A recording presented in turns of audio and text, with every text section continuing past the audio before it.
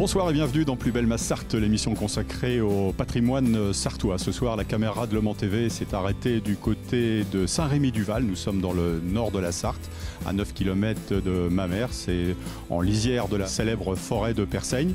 Saint-Rémy-du-Val, qui est donc la fusion de deux villages. Euh, Madame le maire vous le racontera tout à l'heure.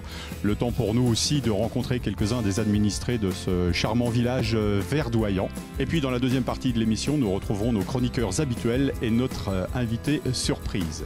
Voilà, dans les médias, on retrouve Madame Fabienne Ménager, maire de Saint-Rémy-du-Val.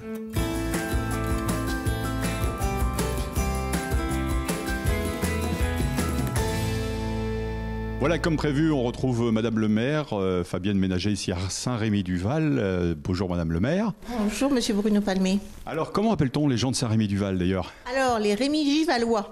voilà, plus simplement les Valois.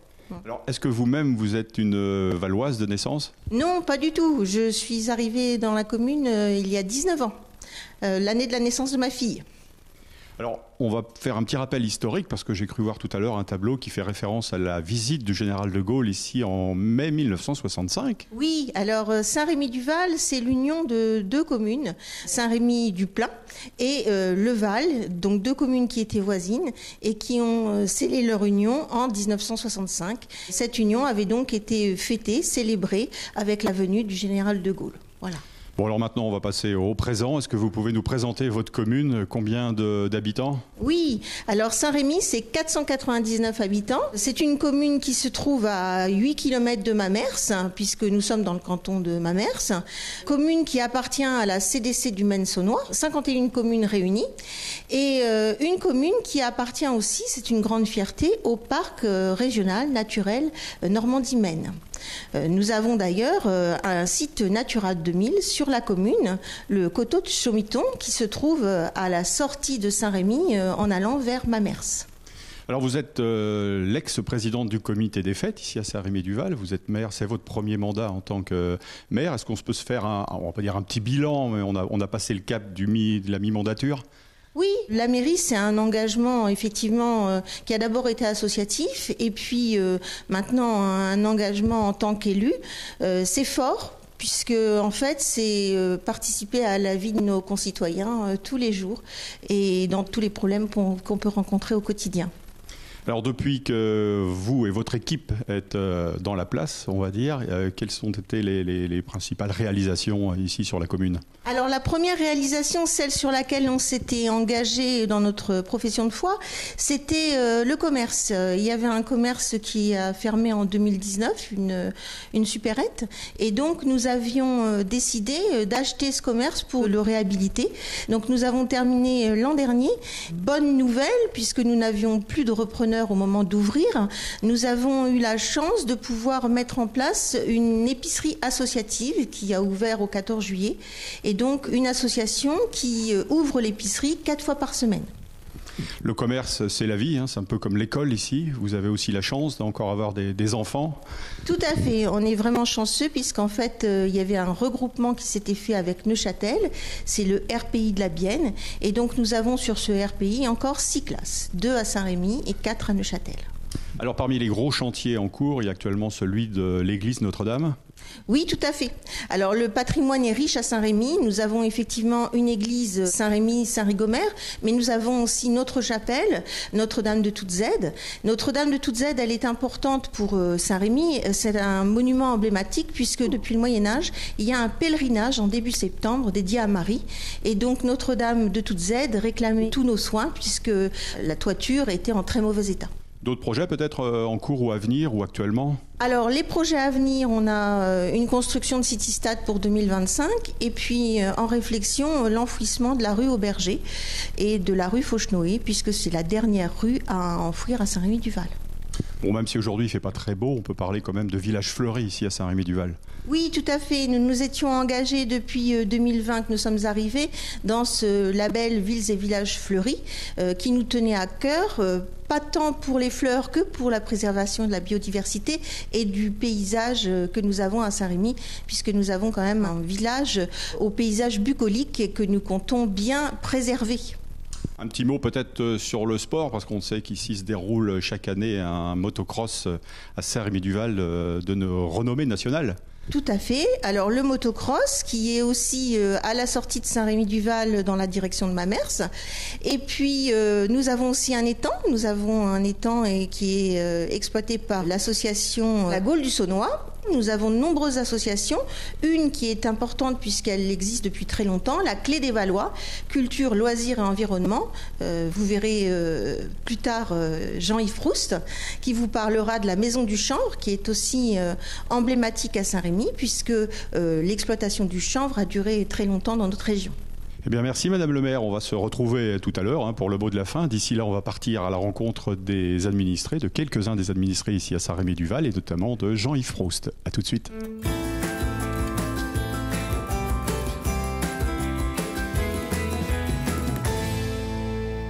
On se retrouve dans un lieu euh, plutôt vivant, en principe ici dans le centre de Saint-Rémy-du-Val, avec euh, Philippe euh, Delahari, qui est le permanent ce matin, on va dire, d'un commerce pas tout à fait comme les autres. Bonjour Philippe. Bonjour, bienvenue dans l'épicerie Les Pivalois. Effectivement, oui, je suis heureux de vous accueillir ce matin pour une épicerie qui a ouverte depuis le 14 juillet de cette année, donc c'est tout récent. Le modèle associatif qu'on a retenu, en fait, c'est une épicerie donc associative. Ça veut dire quoi? Ça veut dire qu'en fait, on ne peut travailler qu'avec des permanents, des volontaires et des adhérents.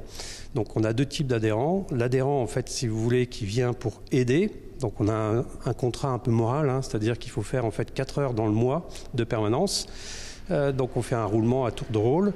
On est ouvert en fait sur euh, quatre créneaux le mardi matin de 8h à 10h, le jeudi de 8h à 10h, le vendredi de 17h à 19h et le samedi de 8h à 10h.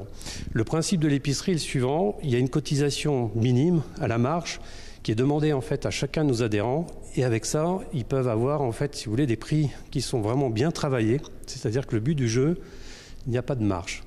Oui, c'est ça. On peut dire que les gens qui viennent ici euh, bénéficient de prestations, euh, bon déjà, et en plus à des prix qui sont ceux qu'on peut retrouver dans des grandes surfaces. Alors, je dirais que ça va même au-delà, puisque en fait, on travaille énormément avec un grand distributeur qui nous accorde en fait des facilités, des remises, et donc on les applique à nos adhérents. Ce qui fait que lorsque vous venez à l'Épivalois, vous allez trouver effectivement une gamme qui n'est pas extrêmement large, hein, ça j'en conviens, mais vous allez trouver des conserves, vous allez trouver un certain nombre de choses, mais surtout avec des tarifs qui sont vraiment bien travaillés. Et fait important, on fait travailler les producteurs locaux. Donc c'est plus que du dépannage. En plus là, vous avez aussi pensé à travailler effectivement avec les. C'est-à-dire qu'en fait, si vous voulez, on a un fournisseur, enfin plusieurs fournisseurs de, viande. On a aussi un boulanger, parce qu'il ne faut pas oublier qu'à Saint-Rémy-du-Val, malheureusement, le boulanger a fermé il y a plusieurs années. Donc on a une livraison de pain quatre jours dans la semaine, vous l'aurez compris. Et puis on va maintenant fournir un autre euh, service qui est en fait des produits frais.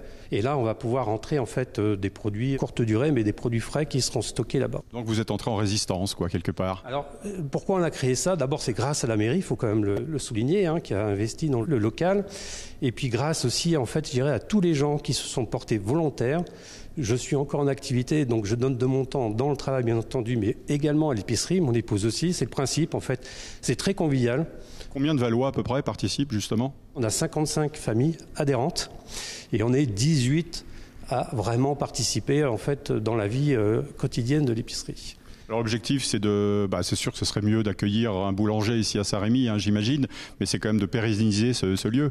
Bah, c'est-à-dire qu'en fait, on va aller au-delà d'une épicerie. Vous avez certainement pu observer que dans le fond de l'épicerie, il y a de la place c'est volontaire, c'est-à-dire qu'en fait, on ne va pas élargir les étagères. Hein. Je vais compter à peu près 200 références, mais on va faire un lieu de convivialité. C'est-à-dire qu'en fait, on va installer de quoi prendre un café, on va proposer, en fait, si vous voulez, des échanges, de partage pour, euh, je sais pas, des, des, leçons de cuisine, enfin, que sais-je encore, des choses que là, on est en train d'étudier.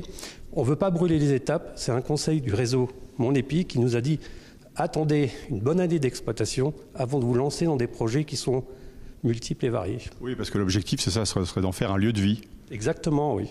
C'est-à-dire que aller à l'épicerie, non pas pour acheter quelque chose, mais aussi pour retrouver euh, la convivialité qu'on recherche tout dans les villages. Quoi. Eh ben merci Philippe.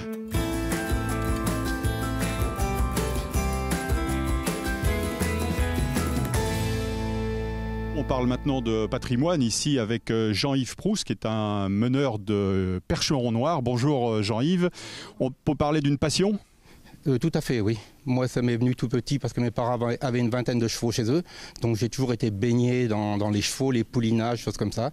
Et donc, dès que j'ai pu acheter ce bâtiment, j'ai eu ma première jument. Donc, j'ai fait concours hippique, concours après d'attelage avec des chevaux de sang, des cobs. Et puis depuis 25 ans, maintenant, je me suis mis au percheron parce qu'on est quand même dans le berceau du percheron. Ça, Rémi Duval, ça reste à la limite de nos gens le retrou, le haras du. Enfin, des sites comme ça.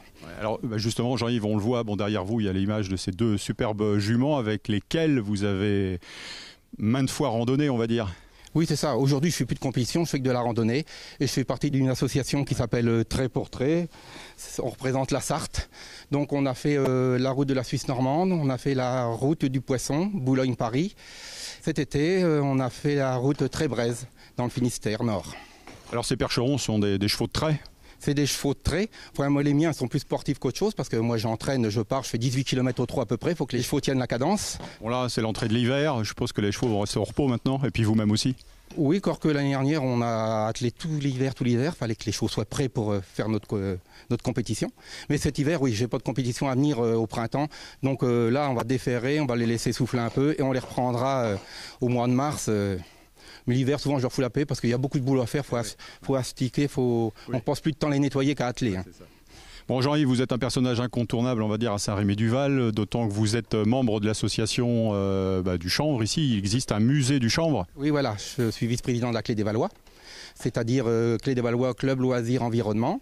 Nous, on gère le musée du chanvre. On organise des randonnées pédestres euh, tous les deux mois à peu près. Et tous les deux ans, j'organise une sortie attelage justement à Saint-Rémy-du-Val. Parlez-nous un petit peu de ce four à chanvre qui a été restauré d'ailleurs. Ça a été fait il y a déjà 25-30 ans par l'association La Clé des Valois avec la commune. Il y a deux ans, l'ancien président disait toujours faut qu'on finisse ce four, il n'était pas fini à l'intérieur. Donc avec euh, quelques retraités, on s'y est mis et on a travaillé tous les mardis matins pendant un mois de temps. On a tout repiqueté, refait de la chaux et on l'a refait à l'identique. Et aujourd'hui, on a enlevé les portes, on a mis des grilles pour que les gens, quand ils passent, ils voient comment fonctionnait le four à chanvre. Oui, parce qu'on peut parler de la route du chanvre ici, puisque le Nord-Sarthe était un lieu vraiment de prédilection, on peut dire, euh, au siècle dernier. Ben oui, d'ailleurs, j'avais organisé une année une sortie attelage, la route du chanvre. C'est-à-dire, on faisait 25 km et on, passait devant tous les fours à chanvre qui est autour de Saint-Rémy, Lémé, euh, Toiré sous Contensor. Ça veut dire que les gens qui, qui le souhaitent peuvent euh, voir ce four à chanvre dans le centre de, du village? Ah oui, tout à fait. Maintenant, il est ouvert parce que on a voulu faire ça il y a deux ans qu'on a restauré parce qu'une fois, je me promenais sur la mode féodale, il y avait des gens qui étaient là, ils se prenaient en photo devant soi-disant le pigeonnier. J'étais les voir, je dis non, c'est pas un pigeonnier, c'est un four à chanvre. Alors je dis à mes collègues, il faudrait peut-être qu'on fasse voir notre four. Donc on l'a remis en valeur, on a mis un panneau au pied et puis euh, voilà. Vous pouvez nous le dire pourquoi? Deux portes un four à chanvre, une supérieure, une inférieure Voilà, la, la, porte du bas qui servait pour la chauffe et celle du haut qui servait à mettre les biques de chanvre à sécher. Merci Jean-Yves.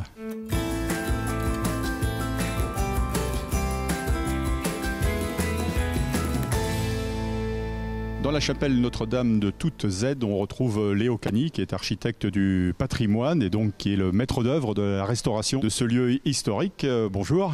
Bonjour, bonjour. Alors, combien de, mois déjà sont estimés pour la restauration de, cette chapelle? On a une petite année de travaux, 8 mois environ de, de travaux, avec une décomposition entre travaux extérieurs, travaux intérieurs.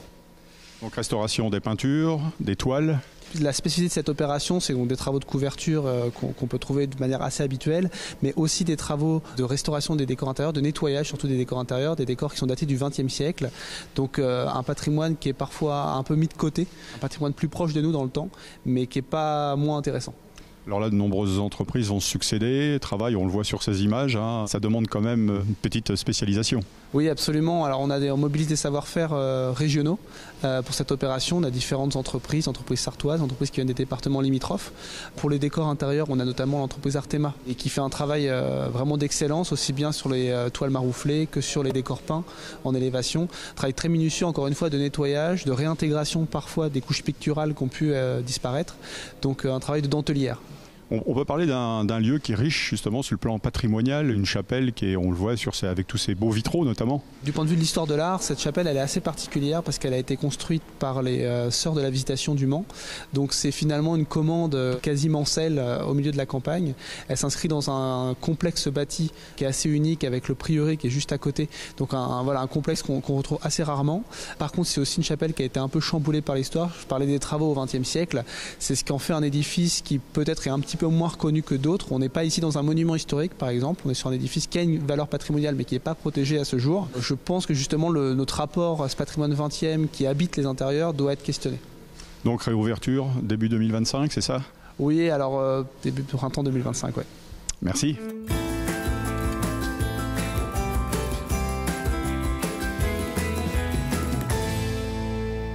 Voilà, on retrouve euh, Madame le maire, Madame euh, Fabienne Ménager, ici dans la salle euh, bah, de réunion, on va dire, hein, du conseil municipal de Saint-Rémy-du-Val, avec juste derrière nous un panneau qui nous rappelle que le village est avec Kolitzheim, on va dire, en étroite relation. Tout à fait. Donc c'est le jumelage qui dure depuis 50 ans. Nous l'avons célébré au printemps. Neuchâtel, Saint-Rémy, Kolitzheim. Donc 50 ans de jumelage avec l'association Jume 3A. Madame le maire, conclure cette émission sans parler de la voie verte serait une erreur, puisqu'ici ça compte beaucoup. Oui, on vient de célébrer effectivement euh, l'anniversaire de la Voie verte en septembre ou début octobre. Il y a toujours une fête. Nous avons en fait eu la chance euh, d'avoir euh, des participants du département, de la communauté mensonnois, la LPO et aussi l'Office du tourisme pour célébrer cet événement. la Voie verte, elle est là depuis 2011 et elle est importante pour le village puisqu'en fait ça va être une entrée dans notre village. Elle est au bout de la rue Auberger. Il y a à cet endroit la gare que nous venons de racheter à cet effet nous souhaitons y installer un gîte euh, d'accueil euh, des promeneurs, des visiteurs qui viendront entrer dans notre village et découvrir notre beau patrimoine. Ça veut dire qu'à pied, à cheval comme à vélo, on peut circuler. Tout à fait. Ça sera les entrées possibles pour les visiteurs euh, dans notre village. Bon, bah, message reçu. Merci Madame le maire de nous avoir accueillis. Merci beaucoup Monsieur Palmier. À bientôt. Voilà, on va se retrouver dans quelques instants avec nos chroniqueurs habituels et notre invité surprise que l'on retrouvera à la fin de l'émission. À tout de suite.